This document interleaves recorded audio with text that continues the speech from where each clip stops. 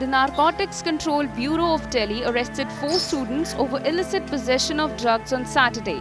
1.140 kg of cannabis and 3 LSD blot papers were seized from the students, two of which belong to Delhi University's Hindu College, one from Jawaharlal Nehru University and the other one from the Amity University.